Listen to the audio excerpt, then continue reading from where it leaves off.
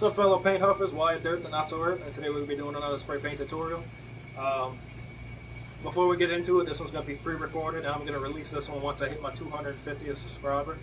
So before we get into any of the colors, anything that's needed, I just want to take the time to say thank each and every, to thank each and every one of you um, guys that have shared it in different Facebook groups, um, guys that have just shared the links on their own in uh, group chats, you know, stuff like that uh, with their buddies, uh, you know, word of mouth, um, just anybody who's watching the suggestions. Uh, I just want to thank everybody because in a grand scheme of things, you know, 250 subscribers on a YouTube channel where I teach people how to spray paint stuff isn't, you know, it doesn't get me anywhere in life, but uh, just for a little small, you know, um, I don't know, idea that I had. I mean, this, this grew into a lot more. The M81 videos almost had 10,000 views in less than a month. And, you know, that, that's something I would have never thought. So, as a treat, uh, I'm going to give y'all the uh, donut slash ice cream paint job. So, I'm not sure why, but this is pretty popular. I've seen it on, I don't know, it's popular for some reason. I just can't wrap my head around it. But you know, after playing around with it a little bit today, it, it, it kind of fornicates. It, it, it's a pretty cool, it's a pretty cool pattern, I must admit. But I've seen it from uh, Cerakote guys that do Cerakote. I've seen them do small batch Olights in this pattern. I've seen guys Cerakote their Staccatos in this pattern. I've seen you know small batch Microtechs in this pattern. Like I've seen a whole bunch of EDC stuff in this pattern for some reason, and you know what? I'm gonna show y'all how to do it. It's not a complicated pattern. Uh, it might look like it, but it's actually pretty easy. You know, fun and the colors, they kind of match up a little bit. Might be the hard part, but it's not too terrible. But to help y'all out, I went out to Hobby Lobby today and I bought all the same colors, all the same brand. So if y'all have a Hobby Lobby nearby, um, I'm pretty sure you can, I think you can order online uh, through Hobby Lobby and have it shipped to store. I'm not 100% sure. Um, I don't really shop online. I, I don't really go to Hobby Lobby often. That's pretty much the only reason I go is for paint. But we're going to go through the colors that we can use. So this one is going to require, I'm using a little bit more color in this one. Uh, most of it's going to be for the sprinkles. Um, but in terms of the main colors, you only need two main colors. So we're going to go through the first one. First one is going to be Ironlak Flirt. And this is going to be a pink color. This is going to be the icing slash ice cream. The next one for the cone slash bottom of the donut, we're gonna have mocha, which is kind of a in between tan and FDE, I'd say. Um, it's a really nice color. I don't like brown and tan and FDE and stuff, but I'd, I'd, I'd paint a rifle on that. Uh, going up to our sprinkles, you can kind of just look at a can of sprinkles, see what comes in it, but that's kind of what I did. Um, so I come up with purple. This is eggplant. Next one is, I already had this one. Uh, it looks good in there, gives a nice contrast. This is Huey. Next up is Halloween, which is orange. Then we have Eureka, which is a yellow. And then Smurf, which should be pretty self-explanatory without seeing it, and that one's going to be blue. So, uh, and another thing that I'm going to go over that you're going to need, um, we're going to be using both the painter's tape stencils and we're going to be doing our own place and spray stencils. Uh, I highly recommend, I'm going to show you on this side because I haven't played around with this side so you can see the holes a little bit better. I recommend doing this for the sprinkles.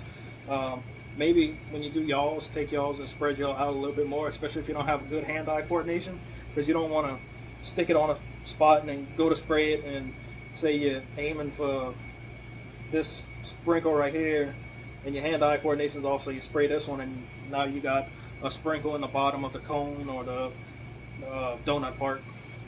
You know, it's not the end of the world. You know, when they spray sprinkles on there, they kind of land wherever they want.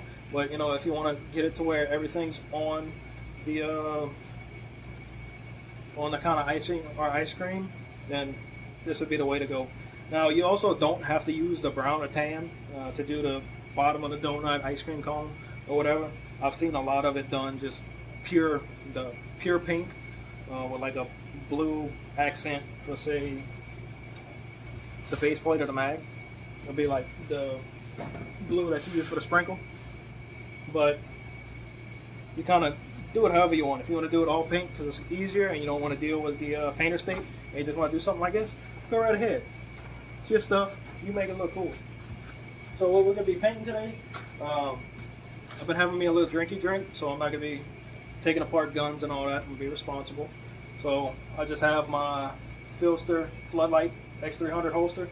Um, I have a Tier 1 MSP uh, Flex holster, which so I don't really carry this anymore, but every now and then I will carry this because that MSP is, lack of a better word, it's a unit. So I mean, it, it, it gets a lot to be carried uh, at times. So sometimes I'll take this and throw this in there, and this works with a PL 350 with some guns. Uh, not all them, some combos that don't work all that great, but uh, my PDP and my 509T, it works fine. So we're gonna go ahead, I'm gonna take this, we're gonna go through our first color. I'm gonna show you all the first set of stencils that we need if you're gonna be doing a cone pattern or the uh, bottom of the donut pattern, and we're gonna get on to it. Okay, so it is the next day and we are finally gonna go on to the first step. Um, put my phone charging because it was starting to die after I did the first section of the video. And yeah, the music coming on the Bluetooth speaker, there was a bunch of bangers back to back, and uh, it kept the alcohol flowing. And yeah, so it's the next day and I'm hungover, so let's paint some stuff. So we're gonna go on to our first step. Burial this time. The first step is gonna be paint. And uh, seeing this is a special video for y'all, I'm gonna go ahead and do it both ways. Um, I'm doing one with just the uh, all pink, and the other side where it's the uh, brown at the bottom, like the ice cream or the bottom of the donut, whatever. And yes, I'm painting over Velcro here.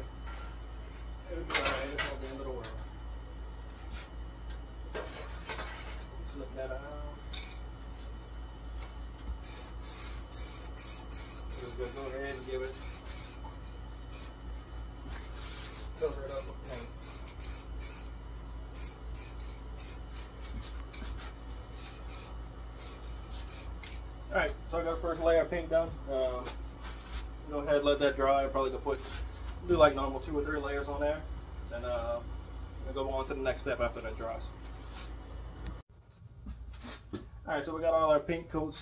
Those are nice and dry. So I'm gonna go ahead and show you all the stencil because I usually don't do that. I'm gonna start doing that. I'm gonna show you all the stencil that I'm using.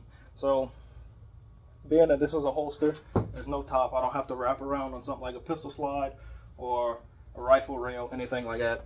So being it's just a holster, I have it cut just flush on the top, flat line. And that's gonna, what it's gonna do is just come up to right here to make sure everything here is pink. Now, if you are doing something, like I said, like a uh, pistol slide, rifle, something like that, you'd want to take this and make basically double this. Make a reverse image of it. You can either do it exactly the same as it is here, or you can make it completely random on the other side, but you want to do it to where it's going to wrap around. And uh, all you're going to do is take the middle, put it in the middle of the project, so the pistol slide, rifle slide, and it's going to give you even coverage on both sides. So that's the stencil we're going to be using. I'm going to go ahead and put that on, and we're going to get to the second color.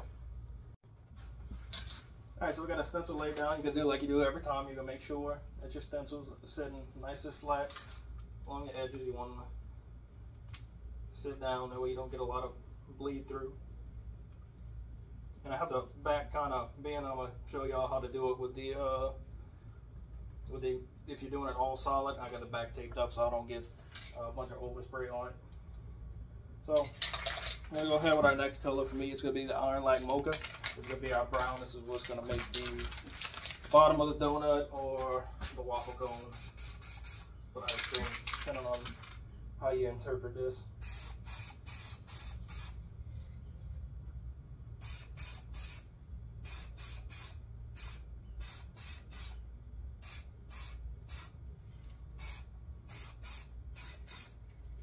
Alright, that'll be our first coat down. We'll go ahead and let that dry. I'm to put about uh, two or three more on there. Then we're to go ahead to the next step, adding the sprinkles. Okay, so if you're doing the waffle cone, bottom of the donut portion like I'm doing. Uh, you're gonna wanna take your stencil off at this point. And what you should be left with is something similar to this. All right, so you got your drips. Next, we're gonna go ahead and add the sprinkles. Um, for, like I said in the beginning, it's best to use something like this, a place and spray stencil, so where you can be able to get it, take it, and put it on uh, however you need, and you can randomize them as such. But to maybe so y'all can see it a little bit better, I'm gonna go ahead and well, I'll go ahead and do it on the front. Uh, I'll just do the back later and show y'all off camera. We'll do the back off camera and show y'all. So you're gonna wanna go ahead and that's when you start grabbing all your different colors that you're gonna be using for sprinkles. These cans are hot. Look at this hot in here. And it's not even fully summer yet, which sucks. But anyways, so I'm gonna go ahead and start off with my purple. This will be the Ironlak eggplant. And I'm just gonna find a random flat spot. It's gonna be easier like that if you can put it on a perfectly flat spot. Go ahead and hold it in place. Just do one little spray. All right, so one sprinkle down, and if you want, you can uh, you can have them in order. So you want to do purple, then blue, then yellow, then orange, or have them all lined up, and then do one, flip around, do another one, flip around, do another one. So I'm gonna go ahead and add on all my uh, sprinkles, show y'all everything when we finish. Alright guys, so this video is taking me a lot longer to do than I thought it would. We are finally on the third day, but the third day of filming here is the reveal. So this is going to be the, if you're doing the, the cone slash bottom of the donut, and this is going to be minus the Velcro, which you should be looking at when you do the just all pink. And here is a bonus BCM grip that I've been playing with.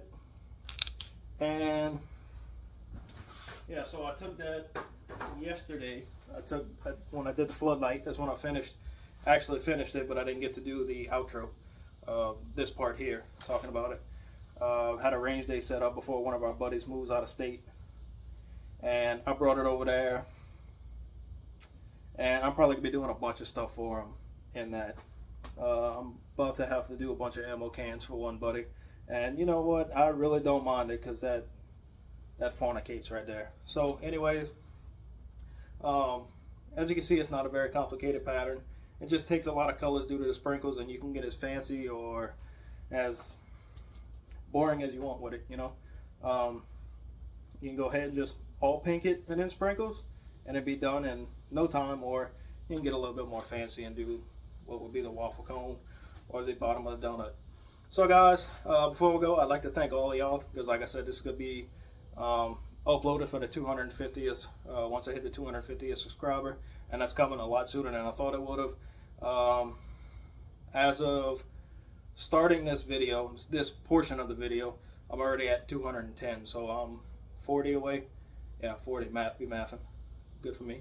But 40 away but I want to thank y'all for getting me to 250 um, like I said in the beginning it, in the grand scheme of things, it doesn't mean a lot, but for somebody that's just sitting here and doing some, showing people how to spray paint, I mean, I think that's pretty cool. And then getting, I'm almost at 10,000 views right now for the M81 alone, so that's that's pretty awesome. And I want to thank all of y'all, anybody who shared it, uh, anybody who who used my videos, and I've been able to help them out. You know, I want to try to, I'm gonna try to mix them up a little bit, kind of show the process a little bit better because the process is looking at my previous videos it is kind of lacking a little bit but um, working on it I'm not a professional photographer I'm not a professional editor so it's kind of like I said it's just one of those things that I'm trying to squeeze in but try, while trying to do 500 other things but uh, thank you all again uh, if you're on Facebook go check out that school and I'll spray painted I also seen to have an Instagram page too so go check that one out if you're on Instagram